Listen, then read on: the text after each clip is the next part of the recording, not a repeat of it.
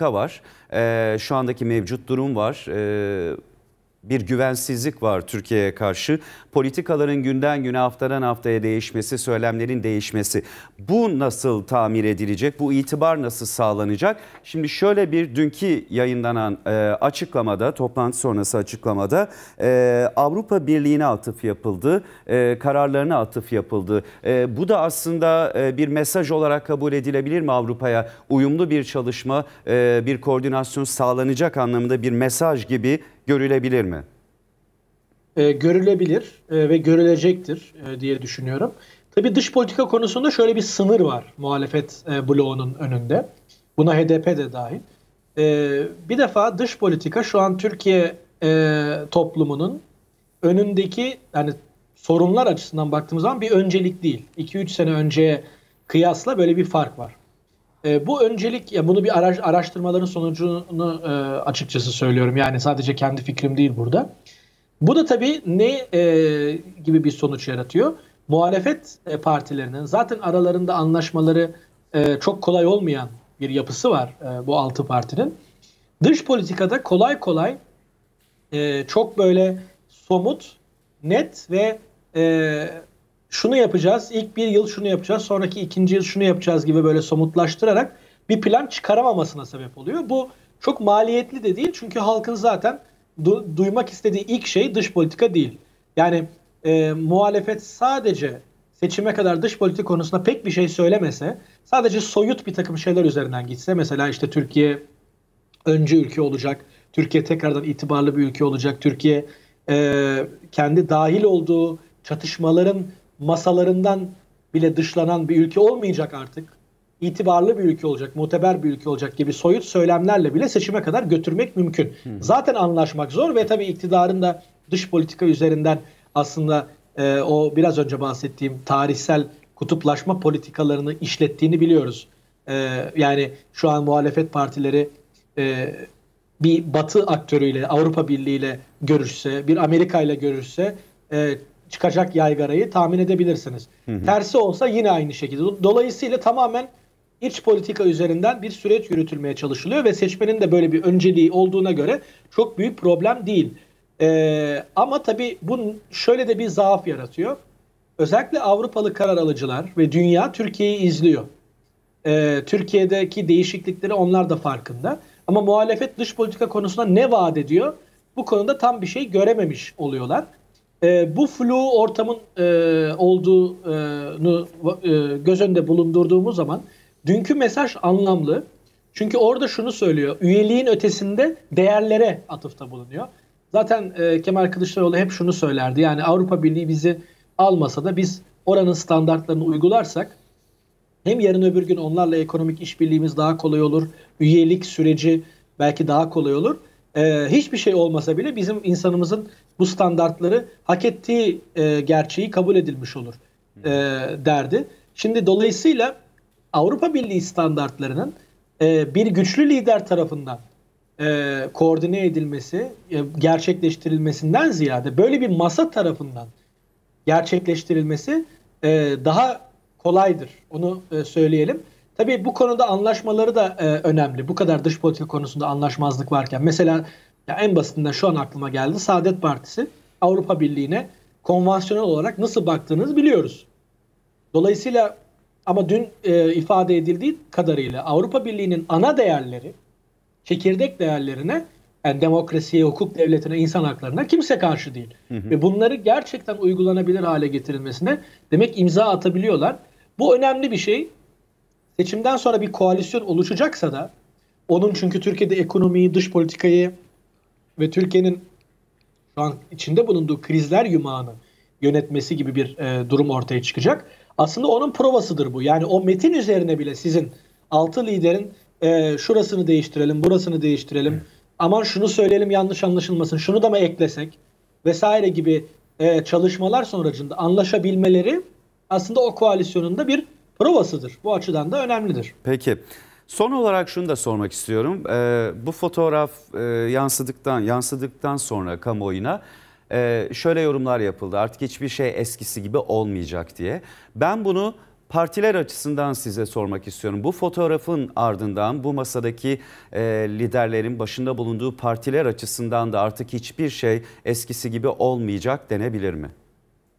Ee, evet çünkü bir yola girildi. Şimdiye kadar o yola girilmesi zaten bekleniyordu. Hatta herkes girilmiş gibi bir an önce adayı açıklayın hadi bitsin gibi e, düşünüyordu.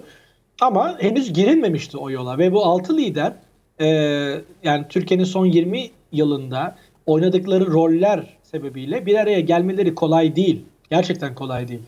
E, HDP'nin orada olmayışı e, sebebiyle bazıları işte hepsi Kürt düşmanı ya da hepsi e, rejim yanlısı, hepsi sistemci ya da hepsi sağcı gibi e, şeyler e, kategorizasyonlar kolay yapılıyor ama aslında biraz daha tarihsel meseleye baktığımız zaman bu partilerin bir araya gelmesi kolay değil. Şimdi e, bu yola bir kere bu kadar somut girildikten, bu fotoğraf verildikten sonra artık bundan geri dönüş zor. Buradan geri dönüş olduğunda e, geri dönüşü ya da geri adımı yol açan partilerin belki de toplum tarafından cezalandırılması gibi bir şey de söz konusu. Çünkü şöyle algılanacak. İşte siz e, bir otoriter rejime karşı zaten kazanmak bu kadar zorken bir araya geldiniz. Şimdi kendi kişisel ya da kendi partinizin işte bir takım menfaatleri sebebiyle masayı de, masayı mı deviriyorsunuz şeklinde bir tepkiyle alınmasına yol açacak. Dolayısıyla artık bütün liderler o masada oturanlar bundan sonra e, daha önce hesaba kattıkları bütün parametrelerin karar aldıkları zaman yanına bir parametre daha eklemeleri gerekecek.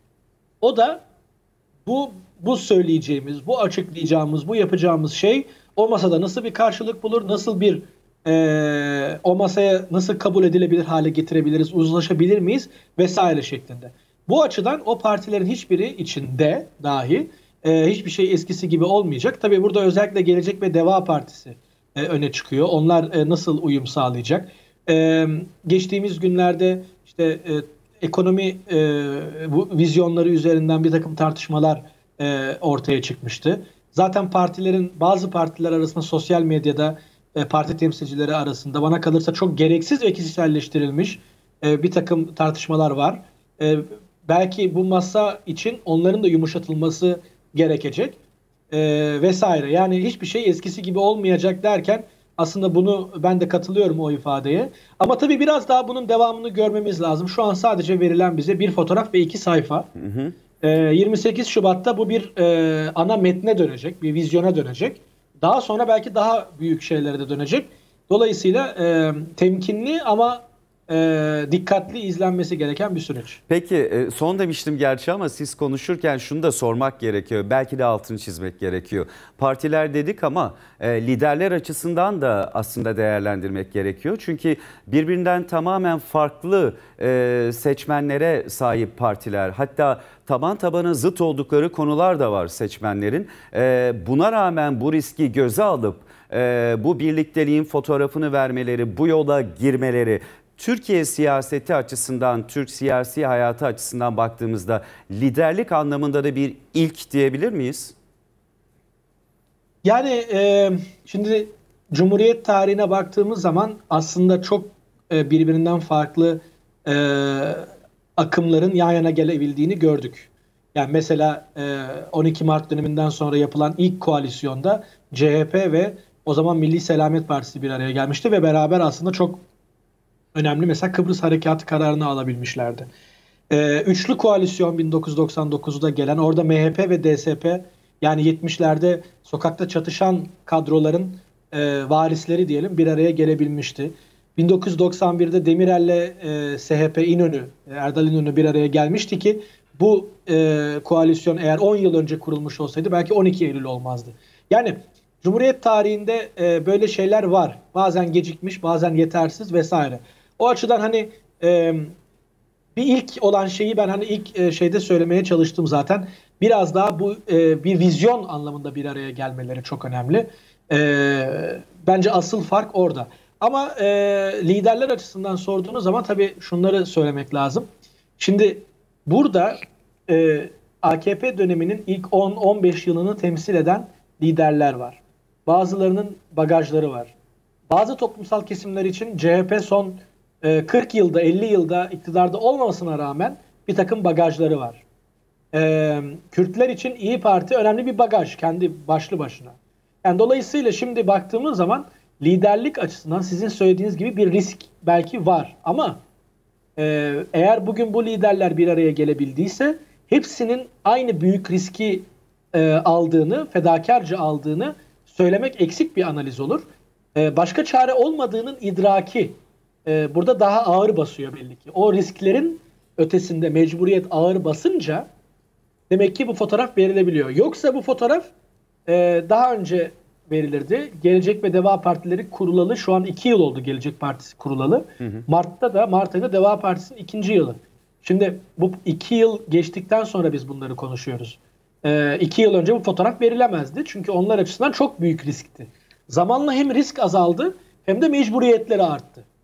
Ee, İyi Parti ve CHP nispeten daha yolun başından beri beraberler ama Saadet Partisi mesela 2018'de e, hiçbir milletvekili çıkaramadı CHP kontenjanından koydukları har- haricinde ve e, acaba biz hata mı yaptık CHP ile aynı ittifaka girerek diye bir öz eleştiri ya da bir düşünme sürecine girdiler. Ama bakın ona rağmen bugün yine aynı masadalar. Yani bunlar neden? Bunlar fedakarlık mı sadece? Hayır. Bunlar bir belli bir hesabında bir araya gelmesi ve bir mecburiyet durumunun artık e, takdir edilmesi bütün liderler tarafından. O bakımdan e, liderlik devam edecektir e, kendi içinde. Ama bu liderliğin yumuşatıldığını görüyoruz. Zaten e, yani uzlaşı üzerinden. Zaten parlamenter sistem de böyle bir şey. Yani Türkiye'deki siyasal kültürde liderin yerini aslında yumuşatan, dengeleyen bir şey. Güçlendirilmiş parlamenter sistem dediğiniz şey. O bakımdan mesela Davutoğlu e, son zamanlarda ittifakın işte adı ya da içeriği konusunda e, yüksek profilli çıkışlar yapıyor. Bu onun siyasi kişiliğine uygun. Yani kendisi düşük profilli e, çalışan bir lider değil. Peki. E, bir inisiyatif almaya çalışıyor vesaire. Bunu yapılmaya çalıştığını e, göreceğiz diğer başka liderler tarafından da ama sonuçta bunların hepsinin birbirini yumuşattığını çünkü o masada oturmak zorunluluğundan ötürü e, hepsinin bunu yumuşatması gerektiğini ve bir uzlaşının ortaya çıkması gerektiğini e, onlar anladılar diye düşünüyorum. Dolayısıyla biz de bunu göreceğiz diye düşünüyorum. Peki ilk açıklama, e, kamuoyuna açıklama 28 Şubat tarihinde yapılacak. Merakla beklenecek 28, 28 Şubat'ta kamuoyuna ne açıklanacağı, e, Altı Muhalefet Partisi'nin bir araya gelmesiyle e, nasıl bir bildiri, nasıl bir e, açıklama yapılacağını 28 Şubat tarihinde hepimiz hep birlikte göreceğiz. Çok teşekkür ediyorum Edgar Şar yayınımıza katıldığınız için, ederim. değerlendirmeleriniz için. İyi yayınlar, sağ olun. Teşekkür ediyoruz. Peki şimdi e, bu bölümü kapatacağız. E, ikinci bölümde Ukrayna ile başlayacağız. Zira e, Ukrayna